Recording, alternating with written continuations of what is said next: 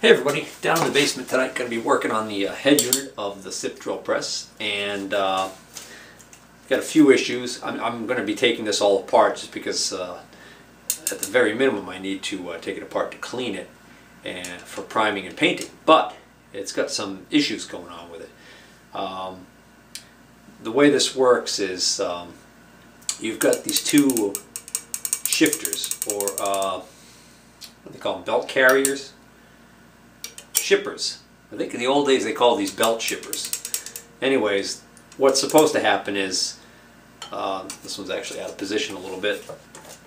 What's supposed to happen is the belt's sitting in here running on this pulley, for instance. And uh, you've got another one on this side over here. Of course, I've got the pulley out. These shippers run on these almost like barber pole uh, screw type uh, posts and they go down into underside right here and somehow there's a mechanism there's a long rod that goes through here. So that what's supposed to happen is when you turn this lever right here on the outside you're supposed to be able to flip this lever. That's supposed to cause these posts to turn simultaneously and cause both of these shippers to simultaneously move down. And what that'll do is that'll have the effect of kicking the belt down to the next step pulley. And of course, since this step pulley has the large diameter on this side and the one that would be here would be in opposite, so the large diameter is on the bottom, you get a, uh, a change in the ratio. The other thing that's uh, kind of neat about this thing is the fact that you've got a probably a torsion spring inside here that actually keeps this arm pushing that, this roller up against the belt this way. So it's an automatic tensioning system. So it's going to automatically keep tension on that belt at, even as it shifts to the different uh, locations. So that's kind of neat, but there's a problem. When I turn this, I can kind of hear something moving in there, and I can see this barber pole is moving. But if you notice this one, it doesn't seem to want to be turning at all and the bottom of it's just kind of moving back and forth a little bit. So something is rotten in Denmark as far as that goes. So we got to figure out what's going on in there. And it looks like we got this big plate on the bottom here. We'll have to see if that comes off. If not, then maybe it's, uh, I can see on the top. Not sure if you're going to be able to see this. There's the camera frame. On the top here, we definitely do have these plates that have screws in them that look like they would allow these parts to maybe be taken out through the top. There's also a screw here that almost looks like an adjustment screw with a locking nut around it. So I'm assuming there's a certain adjustment that's supposed to be made there when everything's put together and working properly. But uh, for starters, I'm going to take a look at the bottom of this thing. Well, he had, previous owner had this wire wrapped on here and it was kind of acting to tie, keep tension on something. Looks like it was keeping tension on this on this roller right here, which is supposed to have the torsion spring doing that job. So maybe there wasn't enough, either there wasn't enough tension in there, or maybe he just thought more tension was the issue. I think what it was was I think he's he's got this belt that this homemade belt lacing job that he did here didn't come out right and I think the belt was a little too loose and so I think he was trying to make up for an improperly sized belt by forcing more tension on there to uh, take care of the fact that he was having some slippage of the belt. So get out of there. Let's see.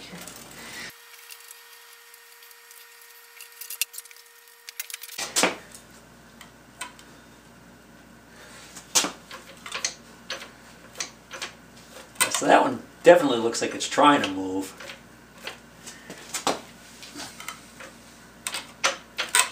This seems to be the one that's locked up for some reason. So I can see that there are screws here to take this cap off. So why don't I see if I can get these screws out. See, we'll use just a, this scribe here to scrape out the, uh, the old paint and expose the uh, slots, clean them out pretty well. This one I already got started. They're in there tight, but they are coming off, so that's good. At least this first one is. see if I'm that lucky with the other two.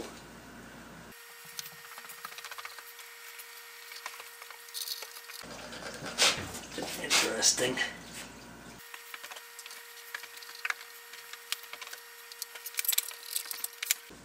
Looks like there's just three screws coming off.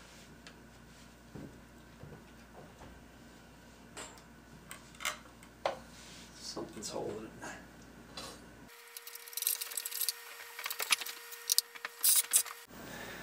Well, it almost looks to me like this this part right here that this rod is going through is part of this part right here. So I think the reason why I can't take this uh, off is because this rod looks like it needs to come out first.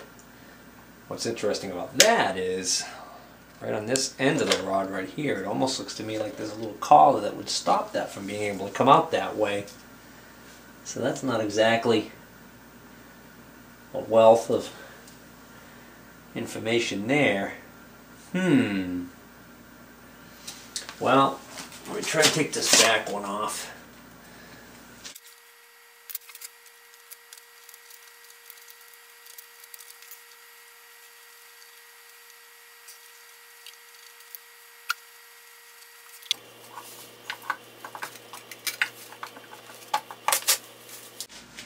Oh, looks like the same problem. It looks like there was another part on the bottom of this that rod's going through.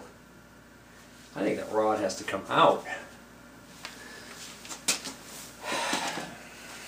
Now, I don't even see how the end of the rod would come out this way. There's no opening.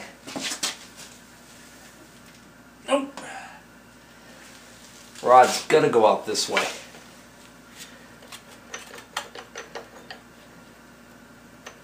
Take the handle off. That's not gonna do anything for me.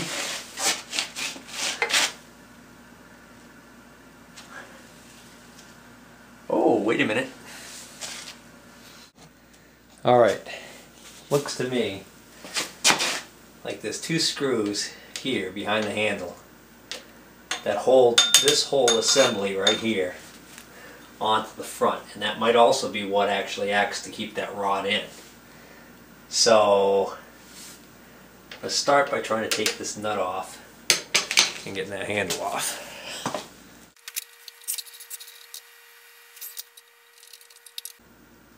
Ah. that's on it tight. You know what? I gotta get something to put the hardware in before I lose some screws. I'm just putting them on the floor right now and I'm gonna kick them and send them flying. Let's see if this little puller fits on here. Seems like every time I get a job like this, I think I need a really small puller for, I grab this small puller that I have and it always seems to end up being too small for the job. Let's see if that's going to be the case again.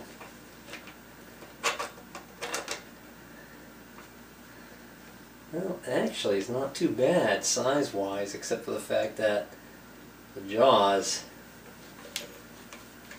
can't get behind, that gap's not long enough. Let's see if I've got another set. Nope. The other pullers I have are all larger and their jaws are even bigger, so they have even more problem fitting behind here. Let me see. What if I put a screwdriver on each side and try and simultaneously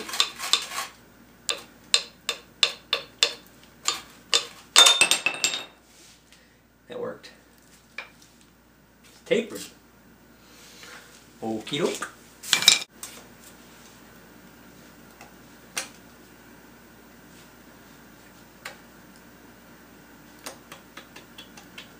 I have this upside down right now. In other words, this is the part that sits on top of the column here. So I want to just note, in case there's a way to put this on backwards, that the quarter inch and 3 8 inch drill bit sizes face down. Although all the numbers are on, all the fractions on here are, are put on in such a way so that they all are right side up when you're reading them. So that's the other dead giveaway, I guess. So I guess I didn't really have to worry about that after all. Alright.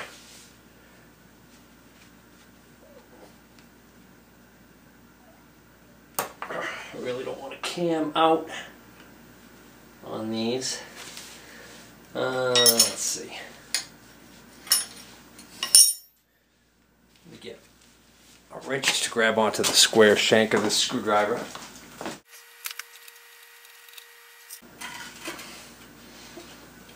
Broke that one loose. Let's try this one.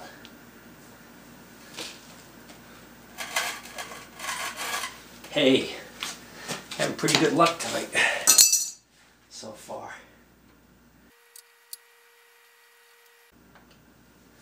Now, I wonder if these two screws are a different size than the six that came out of these two bottom plates. Yes, they're longer.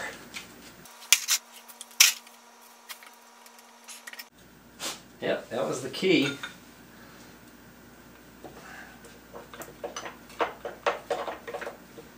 That rod is coming out. Well, it was coming out. Oh, well, look at that. There's a Woodruff key. Oops. There's a uh, Woodruff key right there. So that just pulled out of a something over here. So I should probably take that Woodruff key out before it falls out and gets lost. So I'm assuming there's gonna, gonna be another one in there. And this rod is just stuck from being in there for so long. Ah. Well, that came off, so now I'm not gonna have that to help me pull.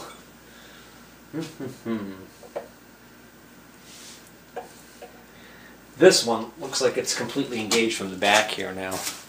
So let's see. In other words, this one looks like it's pulled out completely, so I bet you this will come off now. Yeah. So that's the deal there. Oh.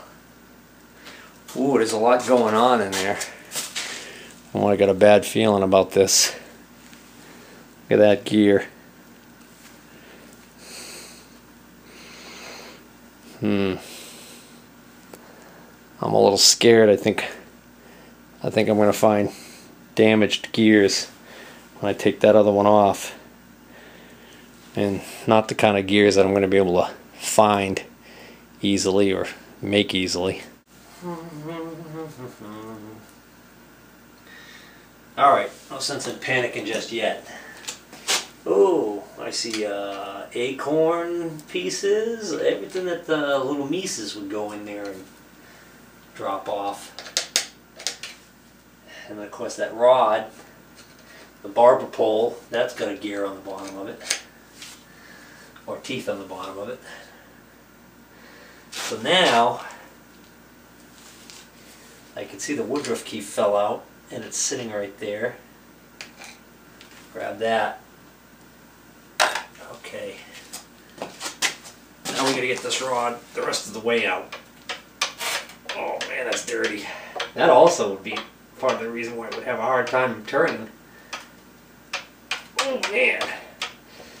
And what's happening is now the dirty part of the rod that was exposed in here is trying to go through this tight fit right here. I guess maybe I should have cleaned that off some before trying to get it to go this way. Now it doesn't want to go back in.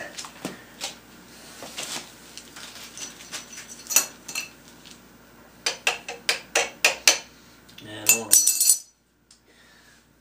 I don't want to run the risk of damaging it. Trying to damage the threads. It's very fine threads here where the handle goes on. So let me uh, rig something up to tap that sucker.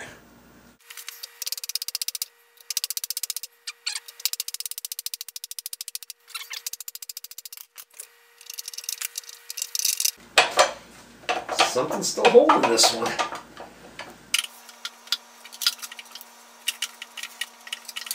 Hmm.